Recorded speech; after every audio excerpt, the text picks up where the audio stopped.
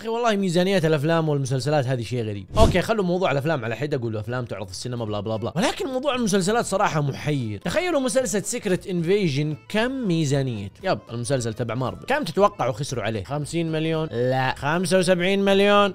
لا. يا وجيه ترى مسلسل كله ست حلقات. إيش إيش إيش الميزانية الضخمة اللي بتضخها مارفل عليه؟ صدقني أنا مصدوم زيك. مسلسل Secret Invasion يا جماعة وصلت ميزانيته إلى 212 مليون دولار. طب اح لا والمشكلة المسلسل يعني كويس يمشي الحال. عموما ما عليكم من مسلسل Secret Invasion قولوا استثمار أبو كلبي ويلا راحت ال 212 مليون الله يعوضهم خير. مسلسل لوكي الموسم الثاني واللي راح ينزل في فترة مش بعيدة بما إنه ال trailer تبعه نزل يعني ميزانيته وصلت إلى 143 مليون دولار أقل من Secret Invasion هل تقولوا لي يا مارفل إن مسلسل لوكي الموسم الثاني أقل أهمية من مسلسل Secret Invasion ها ليش الميزانية أقل؟ عموما والله ماني عارف صراحة إيش قصة ميزانيات المسلسلات ولكن أغلب الميزانيات لما تكون ضخمة كذا الهدف منها أنهم يطلعوا مسلسل بجودة كويسة بحيث يسوقون للمنصة اللي راح يعرض عليها. فالميزانية هذه برضه جزء منها للتسويق للمنصة فهمتوا؟ شوفوا يا مارفل خبصتوا في مسلسل She-Hulk قلنا معليش. خبصتوا في مسلسل Secret Invasion قلنا يا عمي تمشي. لكن صدقوني إلا مسلسل لو لوكي إلا مسلسل لوكي لا تخبصوا فيه رجاء لا تخلوني أخربها. أنا قدني يلا يلا متحملكم يا مارفل بعد ما كنت شبيح كبير. ظبط أموركم مع مسلسل لوكي يا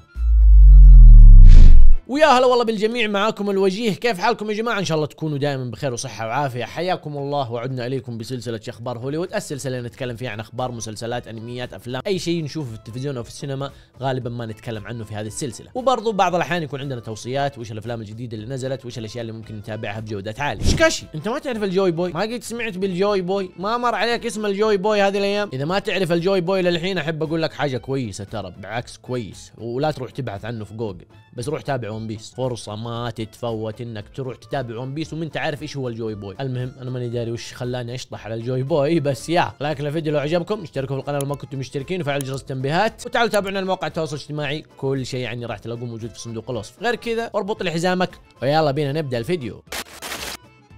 يا جماعة بما أننا تكلمنا عن ال Joy Boy ترى الدنيا مرة مشعللة. الدنيا إلى يومكم هذا مشعللة. الحلقة نزلت قبل ثلاثة وأربع أيام وإلى يومنا هذا والدنيا مولعة فوق تحت. هل تعلم أن حلقة One Piece رقم 1071 حرفيا فجرت الإنترنت تفجير؟ ما راح أحرق عليك. قلت لك إذا ما تعرف شيء عن ال Joy Boy لا تروح تبحث عنه ولا تبحبش أكثر من اللازم. ولكن عندي إحساس كذا إنه هذه الحلقة أو جزء من ذي الحلقة أو أي شيء من ذي الحلقة لابد إنه يكون شطف معظم سكان الكرة الأرضية من كثر ما الحدث هذا كان مرة ضخم. يمكن طلعت لك صورة فيديو ايا كان. ما يهم. الحلقة هذه يا حبيبي أول ما نزلت الحلقة 1071 من One Piece تخيل إنها لقمت أربع هاشتاجات ترند في تويتر. One Piece Joy Boy One Piece 1071 أربع هاشتاجات في تويتر مولعة حريقة ترند كلها عن One Piece يا رجل مواقع الأفلام والمسلسلات والأنميات انعطبت. خربت. ما حد قادر يتابع منها شيء. error Crunchyroll خلينا من مواقع المسلسلات والمقرصنة وذي وايا كان. تنعطب ممكن الحماية عليها ضعيفة وايا كان.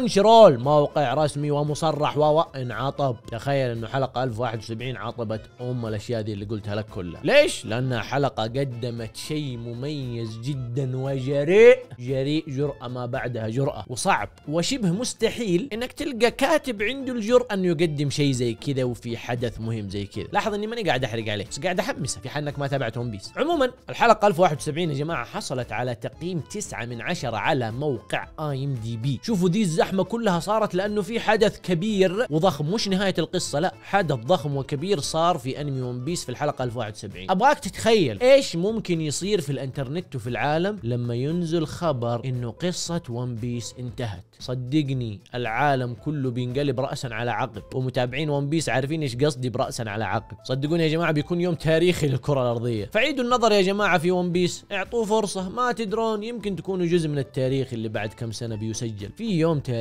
قادم للبشرية يوما ما نهاية قصة One Piece العالم كله راح ينفجر. أوعدك إذا أنت ما تابعت One Piece إلى ذلك الحين راح تجي تسأل الناس إيش قصة أم One Piece إيش قصة قصة One Piece ليش العالم انقلب رأسا على عقب لما انتهت قصة One Piece ف yup جرب تعطيه فرصة. أنت إيش خسران؟ كلها 1071 حلقة. أنا خلصتها في خمسة شهور تقريبا. أنت تقدر في أقل. وخلاص يا جماعة رسميا فيلم باربي راح ينزل في السعودية وبعض دول الخليج وبعض الدول العربية سمحوا فيه. تقدر الآن تحجز تذكرة لغته وتروح تتابعه لأنهم فتحوا الحجز المسبق في معظم السينمات. أنا تدرون مبسوط من إيش؟ مبسوط إنه فيلم أوبنهايمر أخذ حقه عندنا بالراحة وما جاء وتعارض مع فيلم باربي. فيلم أوبنهايمر نزل لحاله عندنا الناس تابعوه وانبسطوا عليه وجاب إيرادات بالملايين. الحين خلي باربي ينزل عادي خلاص أنا راضي. وأعتقد والله أعلم يا جماعة إنه تم التعديل على فيلم باربي. ما راح ينزل بنفس النسخة الأصلية ابدا لأنه النسخة الأصلية فيها مشاهد مثلية فيها إيحاءات فيها مشاهد جنسية فيها اساءات يقولون برضو احتمال للدين فايش؟ الرقابات عندنا ولله الحمد طلبوا منهم يعدلون على النسخة وبالفعل اتجاوبوا معاهم وعدلوا على النسخة بحيث نشوف نسخة نظيفة وما فيها أي مشاكل أو أي اساءات ويا ليت سوني ومارفل يتعلموا من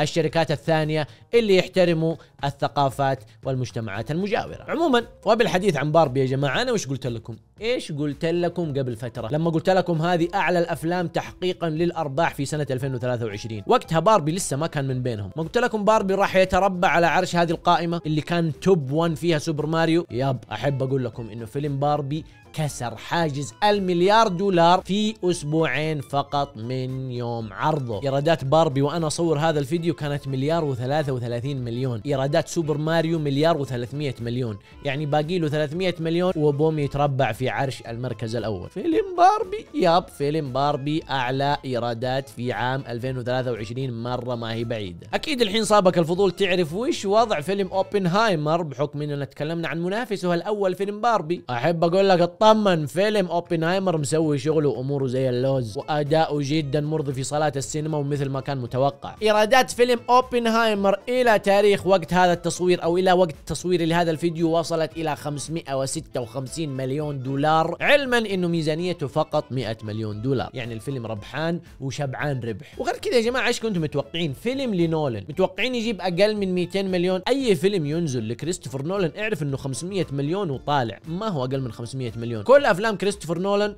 plus 500 مليون. وإذا كنت تبحث عن تجارب الأكشن والخيارات المتاحة حاليا في السينما فيلم ميج الجزء الثاني للممثل جيسون ستيثم صار متوفر في صالات السينما. فيلم بتاع أكشن وأدرينالين وحماس تدخل تنبسط وتضرب الباب وتنسى أم الفيلم إنك تابعته تمام حاجة تنبسط فيها في لحظتها وتضرب الباب. في ناس قالوا إنه الأول أفضل من الثاني وفي ناس قالوا لا الثاني أفضل من الأول. في كلا الحالتين كل الفيلمين الأول والثاني هي مجرد أكشن ودمار وحماس كذا تخش تنبسط وتضرب الباب زي ما قلت لك. فلا تشغل بالك بأمور القصة وما هي القصة والحنكة وكيف ذلك. سيبك من عبده حنكة. عبده حنكة ذا ما يبغى له إلا فيلم أسود وابيض silent بس جيب له تشارلي تشابلن يقعد بالعكاز يطرب وينبسط. وهو 10 من 10 طيب لو تدور أكشن وهبد وخبط ومضاربات وشوية وحوش وحيتان وقرش فيلم ميج الجزء الثاني تقدر تتابعه في السينما. لو هذا جوك من الأفلام. وفيلم الرعب يا جماعة Insidious The Red Door توفر بجودات عالية تقدر الآن تتابعه من أي مكان من التلفزيون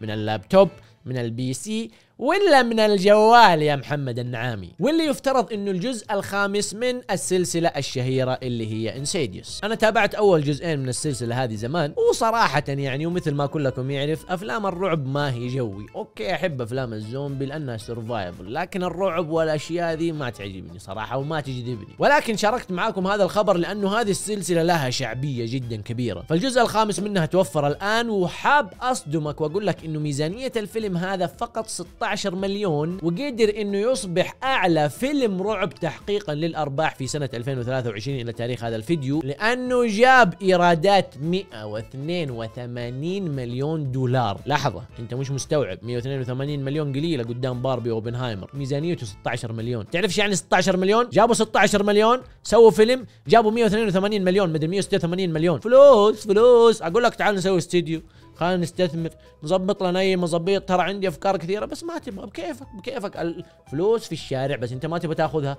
خلك متكي على الجوال. وأخيرا يا جماعة فيلم Spider-Man Across the Spider-Verse توفر وأصبح متاح للمشاهد. تقدر الآن في هذه اللحظة تروح تتابعه من التلفزيون. من اللابتوب من ال PC ولا من الجوال الله المستعان. جدير بالذكر يا جماعة إن الجزء الثاني من the Spider-Verse أو Spider-Man Across the Spider-Verse قدر يحقق إيرادات فلكية وأرقام جدا ضخمة. الفيلم إلى يومنا هذا تقييمه على موقع IMDb 8.9 من 10 يعني 9 من 10 وقدر بهذا التقييم إنه يتم تصنيفه ضمن أفضل 250 فيلم وهو في المركز 15 yup 15 وبميزانية بميزانية 150 مليون دولار قدر إنه يحقق أرباح وصلت إلى حوالي 700 مليون دولار. عموما تقدر الآن تروح تتابعه لو تحب بس تابعه إيش؟ افضل وسيلة مشاهدة تكفى لا تتابع من الجوال الله يخليك. تكفى. عشان خاطري. ولكن قبل ما تتابع الجزء الثاني تأكد إنك متابع الجزء الأول علشان تفهم القصة. ما يحتاج تتابع أي فيلم من أفلام مارفل لا بس على طول الأول Spider-Man Into the Spider-Verse الثاني Spider-Man Across the Spider-Verse ومبروك عليك معانا صرت واحد من متابعين هذه السلسلة. والجزء الثالث اللي ربما نشوفه في 2025 أو 2024 هو غالبا في 2025 علشان أوريكم يا جماعة قد إيش نتفليكس مخربة أمها وجالسة تستهبل وفي مصادر كذا قاعدة تجيب العيد فيهم. يعني في قسم الأفلام والمسلسلات الكورية أو بالتحديد المسلسلات الكورية يعطون الممثلين عن الحلقة الواحدة راتب 300 دولار. تخيل يعني لو أنت مثلت في 10 حلقات من مسلسل وأنت في كوريا ممثل في كوريا راح تاخذ 3000 دولار. ممكن أنت ما راح تستوعب المعلومة هذه لين أضرب لك مثال من هوليوود. هوليوود إذا أنت ممثل مستجد وجابوك في مسلسل وبدور بطولي اعرف إنهم بيتكلموا معاك من 50 ألف دولار وطالع. ما راح يتكلموا معاك بأقل من كذا. إلا لو أنت سبيكة والمفاوضات عندك بريال عاد هذه قضية أخرى. فتخيل انه كوريا الممثل الكوري ياخذ 300 دولار على الحلقة يخرب بيت بليسكم نتفليكس. إيش هذا؟ أنا صراحة أشوف انه الكوريين لازم يشاركوا في الإضراب.